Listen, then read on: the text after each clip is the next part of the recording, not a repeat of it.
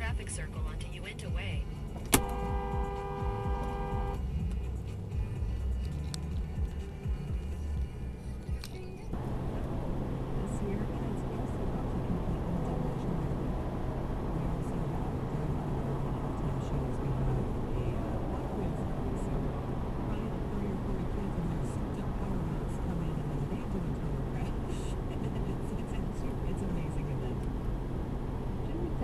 there's something to passing along some of that trauma, maybe even